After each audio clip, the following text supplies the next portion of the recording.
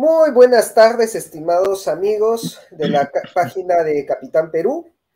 El día de hoy tengo el ah, gusto de tener como invitado a José Canto Torres, que es, ah, tiene actualmente el puesto de alférez real del Inca, representando a los 24 electores, al, de, al Consejo de los 24 electores, el cual me ha pedido a su solicitud el salir al aire para desmentir algunas afirmaciones que se ha hecho en el debate de hace un par de días. Recordarán que hace un par de días eh, tuve un debate con Kuntur o con Anka, en donde eh, pues esto parece que ha molestado, lo, ha molestado mucho, ya que me ha pedido aclarar y desmentir algunos puntos que Anka dijo en ese debate. Así que pues eh, lo presento este, también, eh, bueno, le, este, le solicito que me diga cuál es este, su propia presentación también como descendiente de Mateo Pumacagua y lo que tiene que decir con, respecto a, estas afirmaciones que se dieron en este debate. Mm, bueno, a ver, este, ¿quién les habla nuevamente? Eh, José Canto Torres, eh, del lado materno de mi señora madre, eh, Josefina Torres Chávez, que ahora firma en su DNI, no desde que se casó, si es que no me equivoco, en el año 1972 o 73, dos años después recién me tienen a mí, soy el primero, con el economista don Elmer Olegario Canto Tapia. Eh, mi madre es hija de don Bernardo Torres Quispe Inga, Quispe-Inga, con G de gato, para que entendamos. Él es bisnieto de Vicente Quispe Inga y este señor Vicente Quispeña, que es mi tatara tatarabuelo, es bisnieto a su vez de Polonia Pumacagua Corihuamán, hija de Mateo Pumacagua Chihuantito, hija legítima, porque ha tenido hijos naturales que no han podido procrear. O sea, este es un tema que es muy recurrente en nuestras familias, no solamente la mía, sino también en otras panacas que no han tenido descendientes lamentablemente por la costumbre que tenían de casarse con sus propios parientes, es decir, endogamia, ¿no? Eh, bueno, eh, de esta manera me estoy presentando, soy citado en la página 33 en los agradecimientos de los incas republicanos en una investigación para su tesis magistral en historia de, este, este, señor Ronald Edward Haxma, que es neerlandés, es decir, de Holanda, Países Bajos. Eh, también mi abuelo es mencionado eh, y su mamá, eh, que es María Quispeinga Tupayachi. Entonces, ya hace tres años, bueno, hace más, ¿no? Hace más años, este, estamos hablando de siete años atrás aproximadamente, nos hemos estado conociendo con los demás descendientes. Hemos, ha sido tanta, tanta, tanta la dispersión, la diáspora, si lo quieres llamar, este, Rafael, que recién inclusive he logrado comunicarme con uno, con el sobrino de mi, de mi abuelo, que es Pedro Quispeinga Salas, es el único varón que todavía mantiene el apellido Quispeinga. Las demás son mujeres, ¿no? Entonces, eh, inclusive la señora Yolanda Quispeinga eh, Pantigoso, que eh, actualmente como está casada con mi mamá es de Reynoso, entonces este, es la dueña de la foto de la portada. Eh, es así que hace tres años atrás eh, entramos en un, conocimiento con Fernando Sora Carvajal, con los demás miembros como es Gonzalo Valderrama Escalante, eh, Velázquez, Juan Sebastián Velázquez Peláez, ¿no? etcétera, Francisco Chalco Guamán Rimachi, Richard Texe Góngora, y otros más que me discúlpenme ahorita, yo también estoy con otras cositas haciendo y se me está yendo la, mente. Y que estos son miembros del consejo, ¿no? Y las demás panacas, las demás panacas. Este, actualmente eh, ya se nos ha plegado la panaca Atayupanqui, que es una de las panacas más grandes que tenemos en San Sebastián, eh, San Jerónimo también. Entonces hemos encontrado muchas cosas que no han sido buenas, hemos tenido que escoger la paja de, ¿no? Del grano, lamentablemente es así. En todos lados se cuecen aguas, hermano, en todos lados, en todos lados. Pero yo he pedido personalmente al señor Rafael Aita hacer este video y muy aparte he hecho yo un, este, por mi propia cuenta que me ha pedido permiso Rafael de poder este, compartir y vamos a comenzar a desmentir algunas cositas.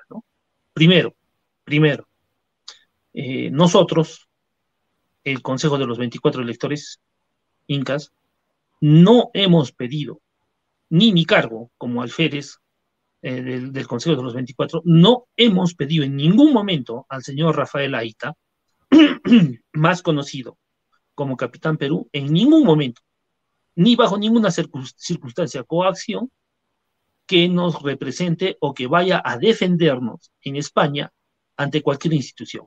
Eso, eso es una falacia, una mentira de parte del señor. No, desconozco, discúlpeme su nombre, solo sé que está con el apelativo de Junto. Eso es como comenzar.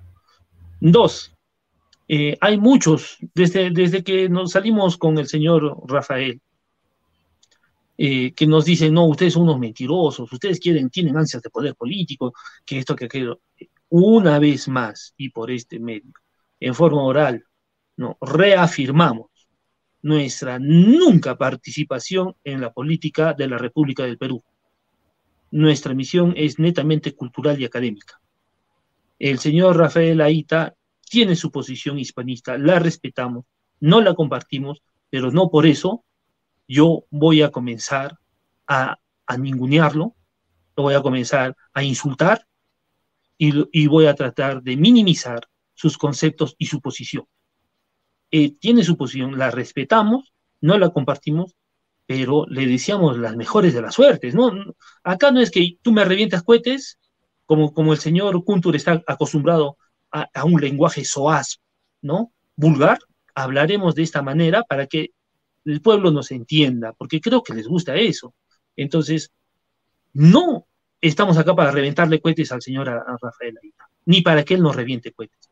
Ahora, ¿por qué nace el respeto que yo le tengo a Rafael? Porque, señores, nosotros nos hemos apersonado a diferentes medios de comunicación. El único medio de comunicación que nos dio 15 segundos acá fue en Arequipa, Televisión Universal.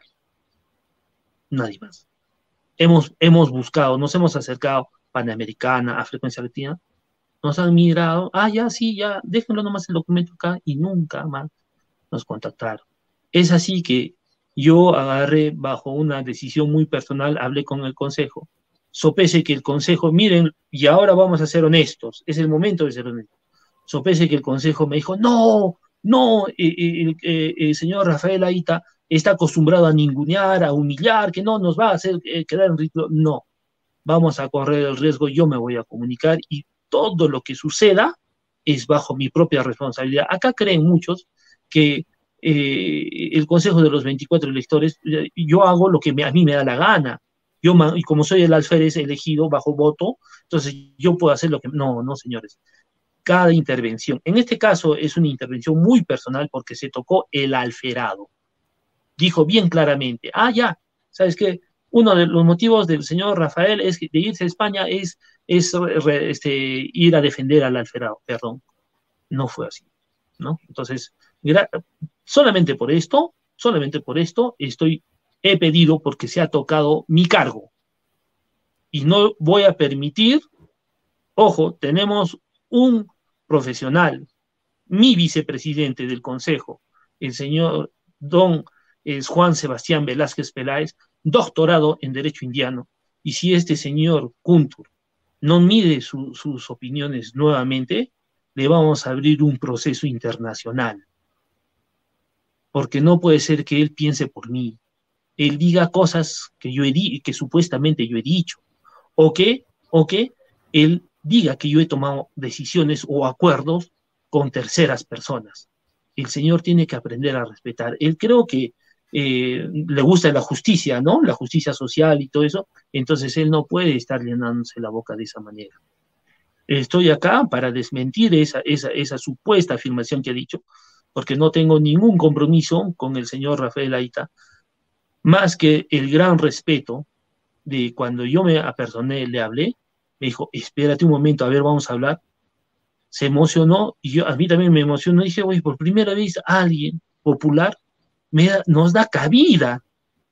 A ver, hablaremos. Y, estaban todos asustados en el consejo, nos va a hacer papilla, nos va, se va a burlar de nosotros, o sea, nos, nos va a maltratar, pero no fue así. Yo me apasioné mucho en, el canal de YouTube de, Rafael, ¿no? Tampoco soy este, un resentido social, por eso menciono en, mis últimos momentos de que el hispanismo sería bueno siempre y cuando, y ojalá hagas ver este video, Rafael, el hispanismo sería bueno siempre y cuando dejaran de ser pedantes los españoles.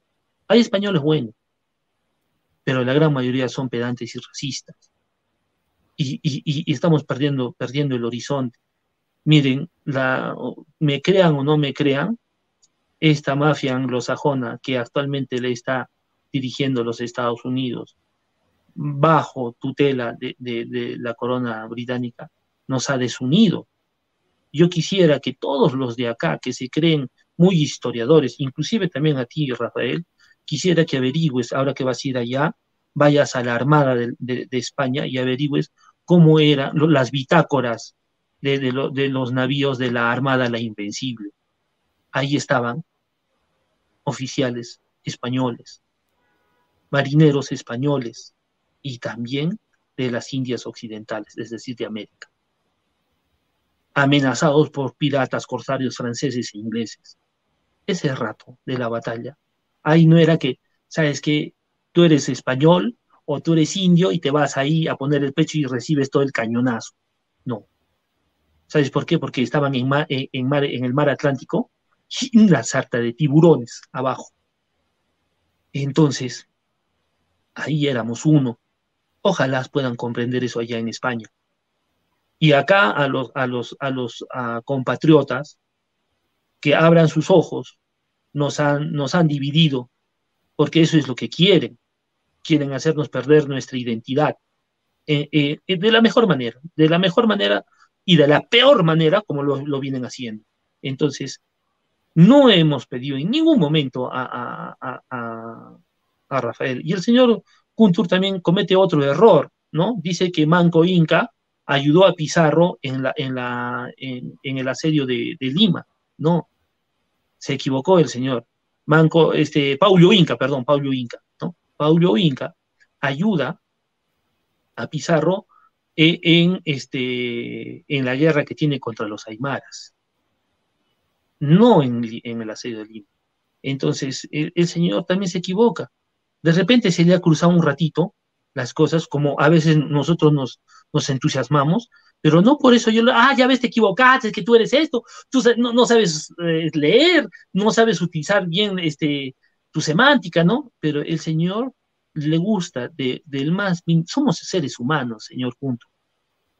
Y podemos, podemos equivocarnos, pero no por eso yo me voy a poner como airecilios de superioridad y voy a decir, sí, pues yo leí más libros que tú y por eso tú, o por eso a ti ahora te hago puré, ¿no?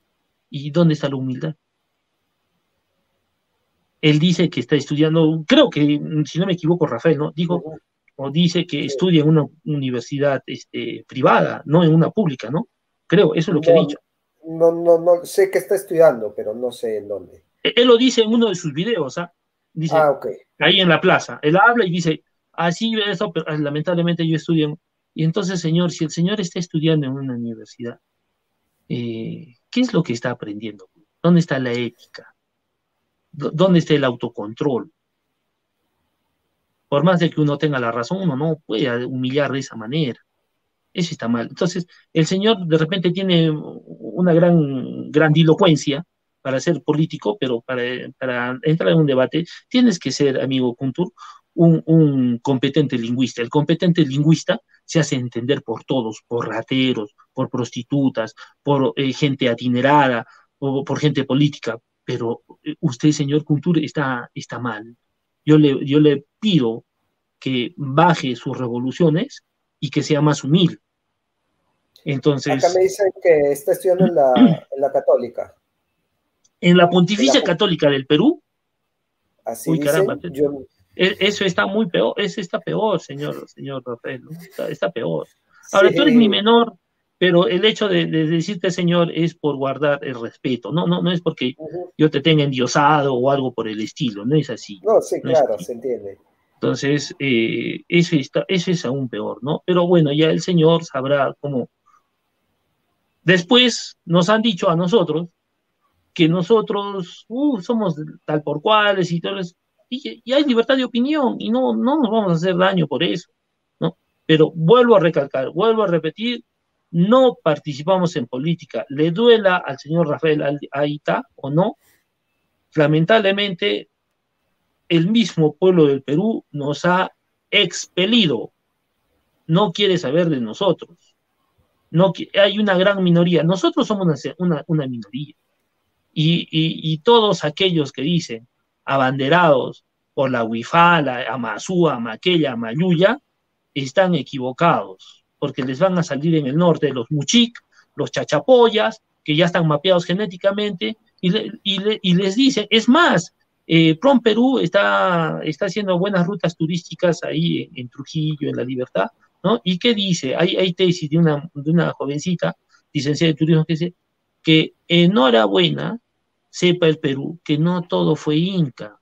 Acá somos mochicas, chimús y no sé qué más cosas. Entonces, eh, y a los estudiantes que estén viendo eh, este video, ¿no? Estudien, por favor no se lean, lean, lean, busquen, porque lamentablemente nos han sesgado. La historia está totalmente tergiversada en el Perú y de aquellos pocos que conocemos la, verdadera historia nos quieren callar. De igual manera, en serio, ustedes creerán que somos paranoicos, pero no somos paranoicos. No quieren, porque hay intereses. Acá en el Perú hay intereses de Estados Unidos, para que sepan bien no solamente europeos, especialmente los americanos. Entre comillas americanos, porque si a mí me ven la piel, aquellos que son indigenistas, ¿no? Yo soy más americano que, que inclusive que, el señor Rafael Aita, como les gusta hablar de cobrizos, yo soy cobrizo, ¿ah? yo soy cobrizo. Entonces diría yo, yo, yo, yo sí soy americano, ustedes no, ¿no? Para que entiendan. Y lamentablemente a ellos les encanta que un cholo peruano como Rafael y como yo, digamos, no, ah, no, porque tú eres más blanquito, no, ¿qué hablas tú, capitán Perú? Capitán España, ¿no? Capitán España, sí, defiende. Entonces, esas son tonteras para desunirnos. Nos quieren romper nuestra identidad. Entiéndanlo, jóvenes. Ustedes que ahora tienen 17, 16, 18 años, ustedes son el futuro. Dejen de ser como fueron nuestros padres, como son sus padres con esas taras sociales, no, no vamos a salir adelante. Eso era todo, Capitán Perú. Hay muchas cosas más que tratar. No te quiero quitar el tiempo, creo que tienes que alistar maletas. Entonces, eso es todo. Y en cualquier otro momento que, sea posible, es más, como te he mencionado, eh, mi periodo como alférez termina el 24 de junio de este año. Entonces, eh, la institución sigue adelante eh, bajo, quien salga elegido, ¿no? En las elecciones que se, que se vayan a dar, y enhorabuena, ¿no? por fin estamos saliendo nosotros, este, poco a poco nos estamos reorganizando más dentro de las panacas, y que sepa el pueblo peruano, quiero que sepa, de que ha habido malintencionamiento de varios historiadores, siendo muy buenos ellos, ¿ah? muy buenos, muy buenos, pero ha habido males, malos intencionamientos para nosotros tildarnos de traidores.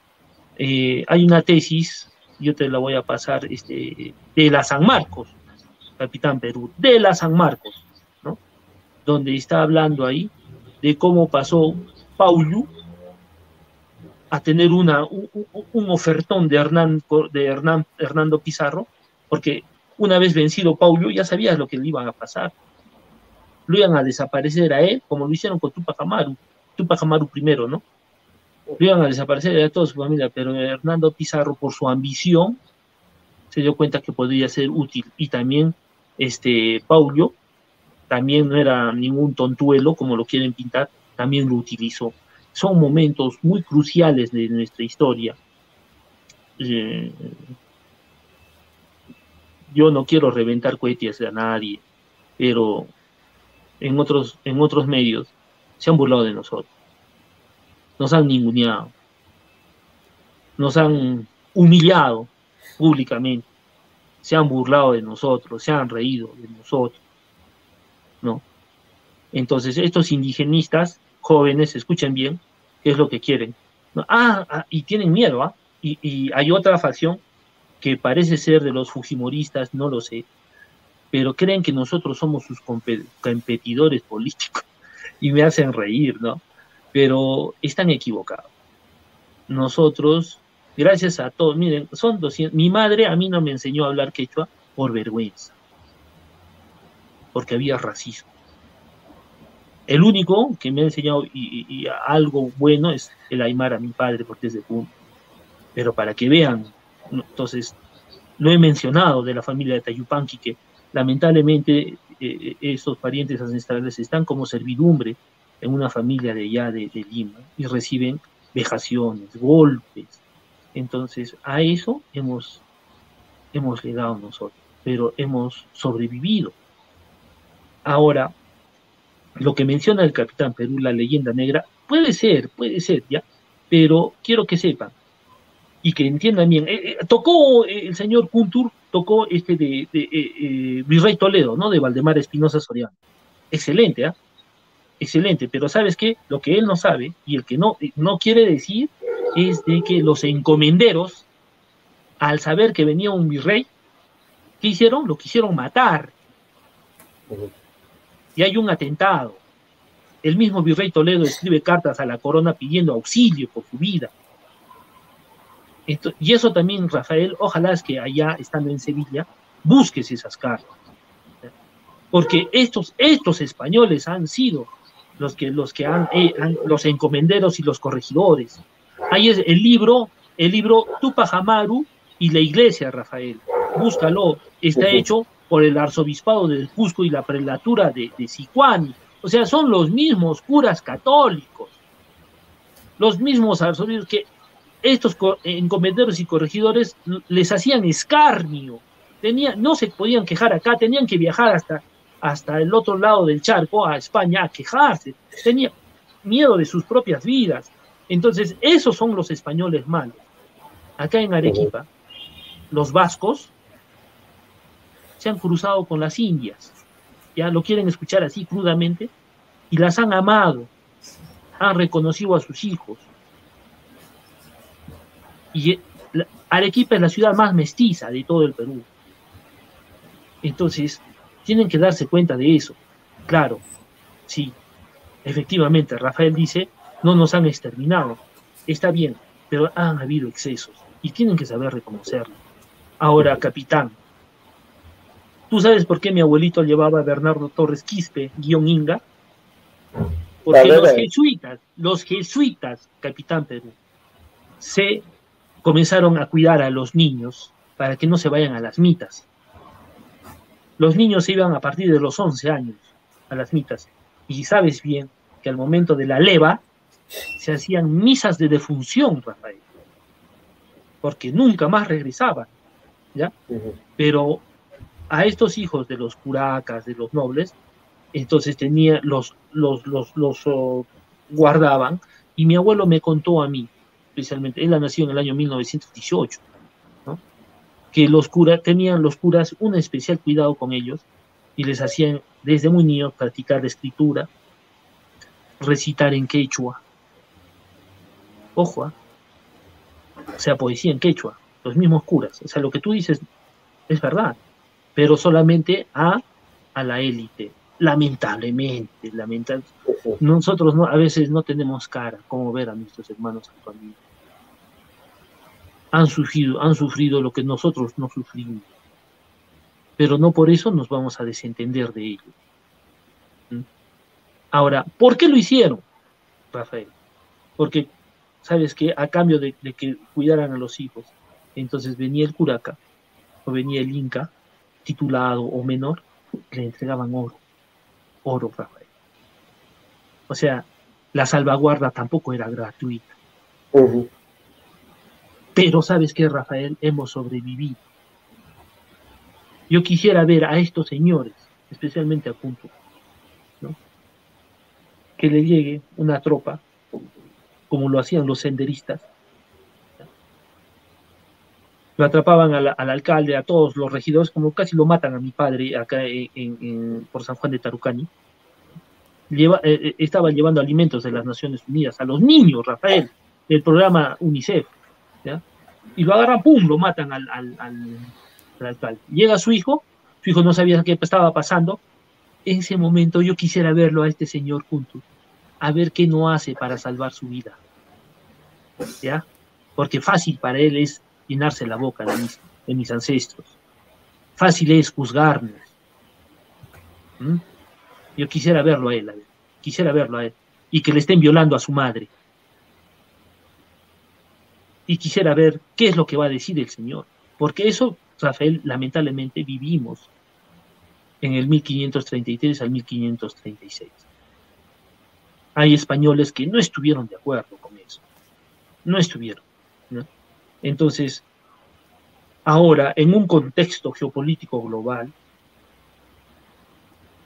si nos hiciéramos, nos desprendiéramos de, de esos rencores, de esas taras y de todo eso, Rafael, los castellano hablantes, discúlpame que siga discrepando contigo, los castellano hablantes, entonces este, sería otra cosa.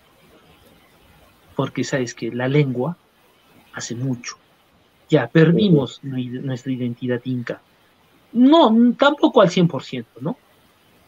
Pero saquémosle provecho pues ahora al, castellano que hablamos.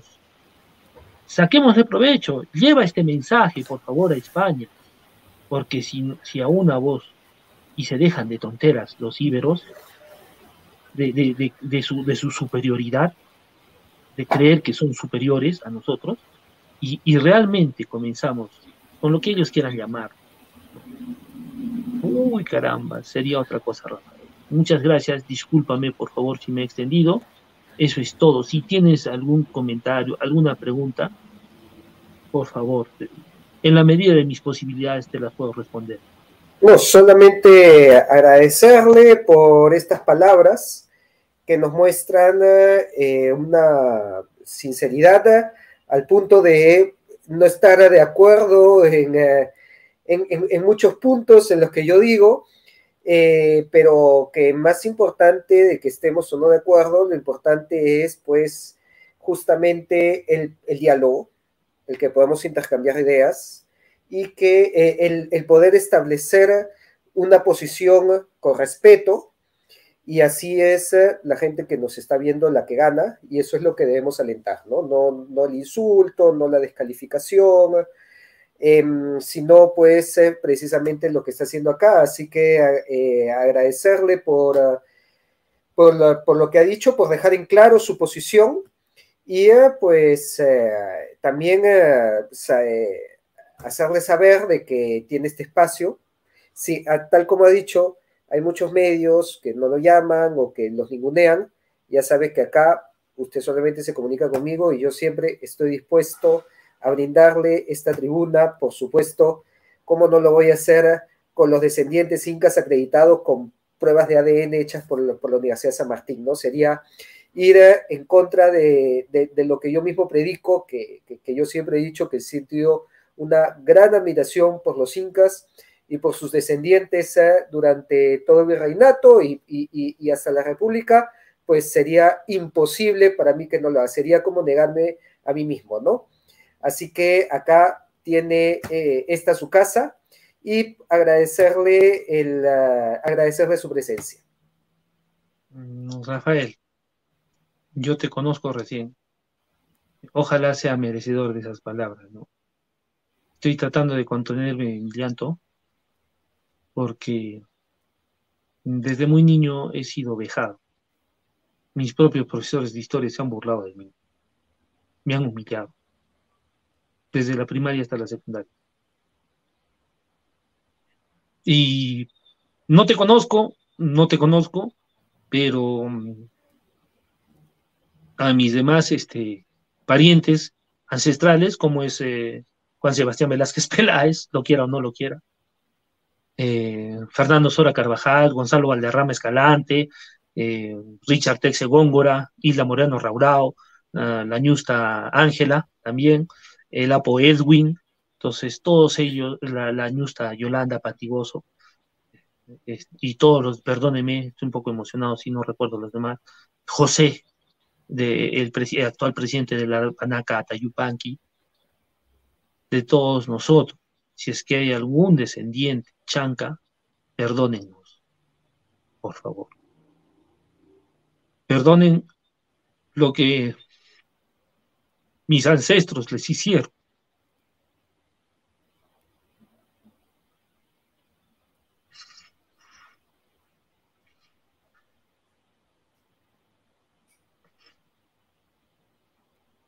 Así es, vamos, vamos, vamos con, con tranquilidad. Y eh, yo creo que más bien... Eh, Perdonen, este, Mochica, Mochimus, este, los Guamanchumo, lo que les hicimos. Perdónennos los chachapoyas, como los quemamos. Todas las crueldades que hicieron mis antepasados. Les pido perdón, por favor. Ojalá nos puedan comprender. No somos dioses, no, somos superhéroes. Y lo siento mucho. Yo no pude tomar decisiones en ese momento. Ojalá el Perú se pueda perdonar a sí mismo y dejémonos de, de raciarnos entre nosotros, porque no vamos a construir ninguna historia. Lo, único que vamos a construir es una separación que nos va a resquebrajar más y nos va a hundir muchísimo peor. Rafael, perdóname, eh, no he podido contener. Eh, en algún momento tenía que decir esto y poder dejar a mi sangre en paz. Señor Guamanchumo, que, que lo conozco hace poco, perdón, por favor, a los señores chancas descendientes, perdón, a los demás que hayan sido doblegados de una forma cruel de parte de mis ancestros, les suplico perdón. Y, y si ven algún tipo de hermandad en nosotros, bienvenido sea. Muchas gracias, Rafael. Y bueno, cuando haya alguna noticia del Consejo o lo que podamos hacer, entonces estaremos comunicándotela. Si, si la historia tiene que ser así, lamentablemente somos el conjunto, ¿no? Vamos a definir nosotros nuestro futuro. Muchas gracias, Rafael. Que tengas buenas noches. Muchas gracias. Gracias a todos los que nos han visto también en estos momentos. Y como lo mencioné anteriormente, tiene este espacio abierto para cuando desee, para cualquier entrevista, cualquier pronunciamiento. Mi canal, eh, mi, YouTube, Facebook es, su casa, así que espero tenerlo aquí nuevamente y ya nos estaremos viendo con todos más adelante. Hasta luego. Hasta luego, Rafael. Gracias.